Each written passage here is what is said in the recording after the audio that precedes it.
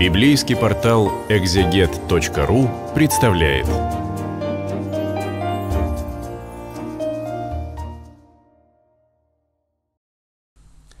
Здравствуйте! На портале Экзегет.ру с вами протерей Дмитрий Сизаненко из Санкт-Петербурга.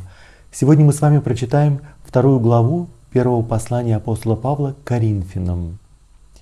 Апостол Павел в предыдущей главе увещевает своих учеников сохранять единство и все те духовные дары, которые им даются, чтобы они не использовали для того, чтобы превозноситься и самоутверждаться в своей общине за счет своих собратьев, но для того, чтобы все это обратить на служение Богу и подлинную хвалу обретать в глазах Бога.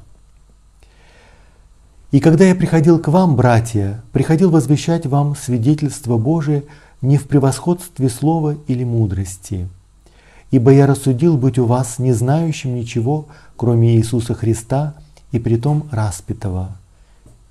И был ли я у вас в немощи и в страхе и великом трепете, и слово мое, и проповедь моя не в убедительных словах человеческой мудрости, но в явлении духа и силы, чтобы вера ваша утверждалась не на мудрости человеческой, но на силе Божией. Апостол Павел опять возвращается к теме креста, то, что составляет сердцевину его Евангелия, вести о смерти и воскресении Христа. И он напоминает нам, что вера — это не то, что можно приобрести, как приобретают некоторые убеждения. Это не система каких-то взглядов или внешних предписаний, которых человек начинает придерживаться. Вера приходит через слышание свидетельства. И поэтому апостол Павел говорит о том, что он отличается от всех мудрецов, софистов эллинского мира. Нужно себе представить, что Коринф был очень важным городом, где кипела интеллектуальная культурная жизнь. Это был портовый город, перекресток средиземноморских путей, поэтому там было очень много философов, софистов, которые проповедовали, точно так же, как и в наши времена, очень популярные разные спикеры, гуру, коучи, которые тоже что-то проповедуют, желая приобрести себе последователей. И очень часто те, кто становились учениками этих гуру, естественно, заинтересованы в том, чтобы их учитель был наиболее престижным, пользовался наибольшей славой в городе, популярностью, и все это тоже было завязано на престиж, на финансы и на влияние. И апостол Павел говорит, что он совершенно другой. Он действительно ищет не себе учеников, но ищет учеников воскресшему Христу. И поэтому метод, которым он пользуется, принципиально противоположен. Он мог бы применить все превосходства искусства красноречия, но ему это не нужно, потому что проповедь о Христе и сам крест и благодать Евангелия содержит в себе достаточно силы для того, чтобы быть принятой и для того, чтобы возродить в сердцах слушателей веру. И настоящая вера — это то, что приносится от Бога, а не то, что приходит в результате каких-то убедительных слов и человеческого красноречия. Поэтому вера должна утверждаться не на мудрости человеческой, но на силе Божией. Почему? Потому что затем апостол Павел диагностирует проблему в Каримской общине. Появляются люди, которые оказываются внешне по-человечески более умными, чем, вероятно, им показался апостол Павел. И эти члены общины соблазнились на эту проповедь и увлеклись ею. Точно так же, как у нас очень легко возникает не только культ денег, но и тоже культ каких-то знаний, э, суетных представлений. Как будто можно стать сверхчеловеком, просто что-то зная. И потом уже эта мудрость, это знание становится расходной монетой. И апостол Павел говорит о том, что мудрость Божия по сравнению с мудростью человеческой обретает совершенно другим качеством. Мудрость же мы проповедуем между совершенными, но мудрость не века сего и не властей века сего приходящих. Но проповедуем премудрость Божию, тайную, сокровенную, которую предназначил Бог прежде веков к славе нашей, которой никто из властей века сего не познал, ибо если бы познали, то не распяли бы Господа славы. Но, как написано, не видел того глаз, не слышало ухо, и не приходило то на сердце человеку, что приготовил Бог любящим его. Апостол Павел обращается к своим ученикам и говорит им о том невероятном, неслыханном богатстве, которое получают все, кто избран Богом, любящие Бога. И по сравнению с ними вся суета, все тщеславие века сего – ничто. Конечно, люди стремятся к власти, и поэтому сильные века сего. Каждый хотел бы быть юристом или оратором в Коринфе для того, чтобы пользоваться престижем. И апостол Павел говорит о том, что божественная сила и божественная власть, она несколько другого свойства. Если бы первосвященники, если бы прокуратор Понтий Пилат знали, кого они обрекают на распятие, то они бы так не поступили, потому что тем самым они себе подписали смертный приговор.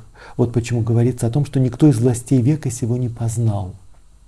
Но познали тех, кто принял проповедь Евангелия. Те, кого Господь до сотворения мира избрал и осветил. А нам Бог открыл это Духом Своим, ибо Дух все проницает, и глубины Божии. Ибо кто из человека знает, что в человеке, кроме Духа человеческого, живущего в нем? Так и Божьего никто не знает, кроме Духа Божия. Апостол Павел здесь приводит довольно понятный аргумент. Никто не может заглянуть в сердце человека, и никто не знает, что у нас на уме, кроме нас самих, кроме внутреннего нашего человека, кроме нашего духа. Точно так же никто не может знать, что на уме у Бога. Никто не может познать глубины Его премудрости, кроме Духа Божия, который живет и пребывает в нем. Почему апостол Павел об этом заговорил? Для того, чтобы затем подвести к особой радости своих слушателей, потому что именно этого Духа они и получили в таинстве крещения. Но мы приняли не Духа мира сего, а Духа от Бога, дабы знать дарованное нам от Бога, что и возвещаем не от человеческой мудрости, изученными словами, но изученными от Духа Святаго, соображая духовное с духовным. Действительно, то, что является духовным с маленькой буквы, оно сообразно духовному с маленькой буквы. И для апостола Павла это фактически синоним душевного, а иногда синоним плотского, того, что от века сего. И все это противопоставляется духовному с большой буквы. И, конечно, та часть общины, которая прелестилась проповедью и наставлениями странствующих проповедников, софистов, которые показались более интеллектуальными, более умными. И коринфяне подумали, что через эту проповедь они стали более духовными, апостол Павел их отрезвляет. Нет, духовным становится по-настоящему только тот, кто принимает силу Духа Бога. Душевный человек не принимает того, что от Духа Божия, потому что он почитает это безумием и не может разуметь, потому что о сем надобно судить духовно. Но духовный судит о всем, а о нем судить никто не может. Последний стих, конечно, перекликается с тем, что в Евангелии Туана говорится «рожденный от Духа», точно так же, как ветер. Никто не знает, откуда он приходит и куда он уходит. То, что открывает Дух Божий человеку, открытому влиянию Бога, никто не может прочитать. И поэтому лишь только духовный может судить о духовном, а о нем никто не может судить. Ибо кто познал ум Господень, чтобы мог судить его? И апостол Павел дает ответ. А мы имеем ум Христов.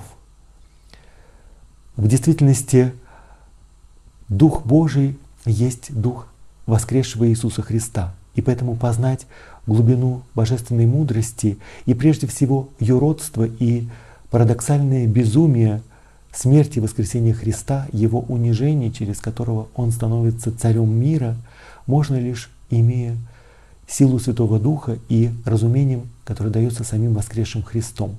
И апостол Павел подводит своих читателей к мысли о том, что «а вам дан этот ум». На портале Экзегетру с вами был протерей Дмитрий Сизаненко из Санкт-Петербурга.